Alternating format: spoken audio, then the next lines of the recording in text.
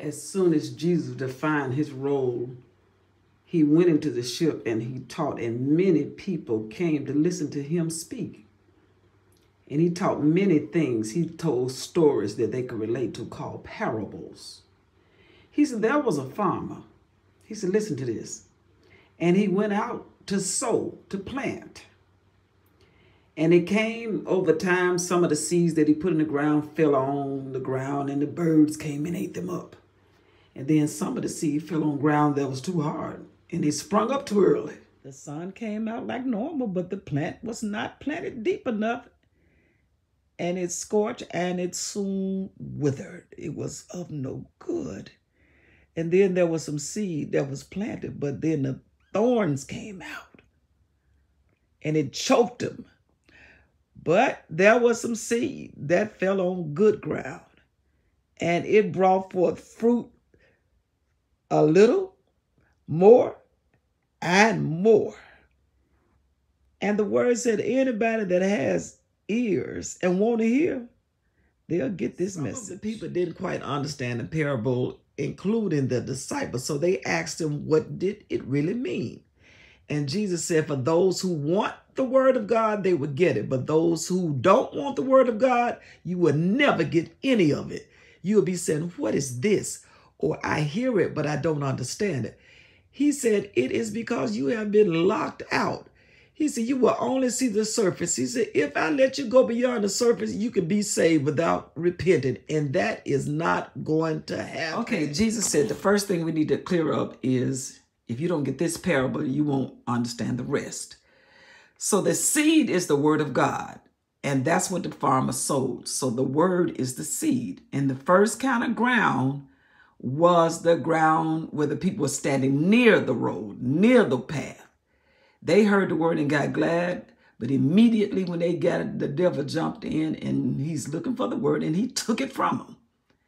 All right, the next is stony ground. These people heard the word and they got excited, but they were on stony ground. It's, it's the stony ground. These are the type of plants that pop up without any root.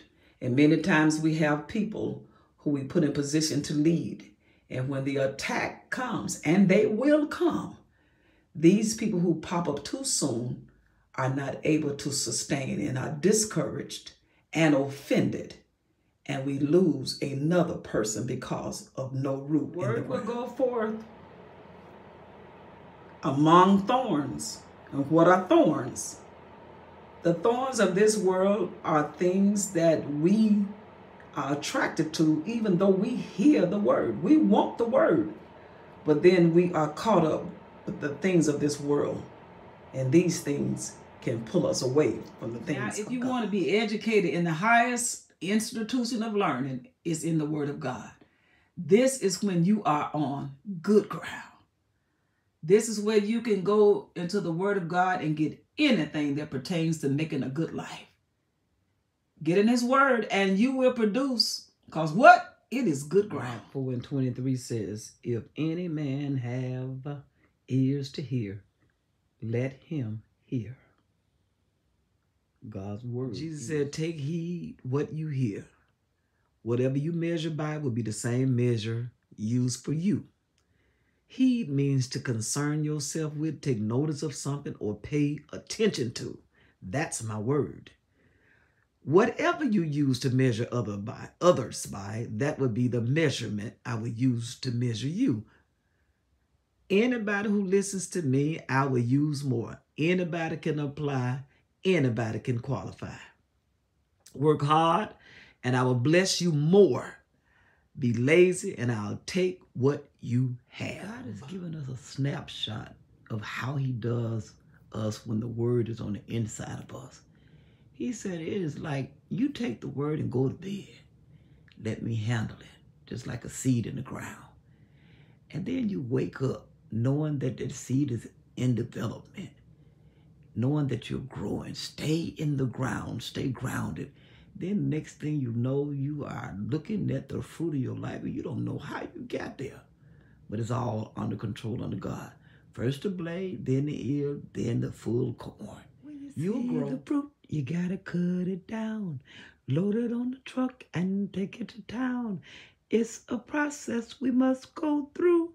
God wants everybody to taste your fruit. Jesus went over everyday life things, especially things that can grow, to show them what God was like. I'm introducing, I'm advertising. I can take something tiny. God can take something tiny. Very small. Go into the ground, and that same thing will become big. That's what God wants to do in our life. Take something tiny and make it big. And this is what Jesus was trying to show. He said, But all I can do is talk to you in parables. He said, But if you come into me the way I said come, I won't just have parable time. I'll give you revelation time. Come to me. Talk to me. Jesus gave directions, said, let's, let's, let's go on the other side. Let's pass over to the other side. And the disciples got the people and gathered and said, y'all can exit this way. While Jesus was on the ship and some small ships was around him. And then there came a storm while they was in the middle of the water. And they were terrified and they went to Jesus, wake up, wake up, wake up. And they got him up. He said, do you care if we die? Jesus saw the fear of the faces of the disciples and he saw the wind and uh, he looked up toward the sky and said, Peace be still.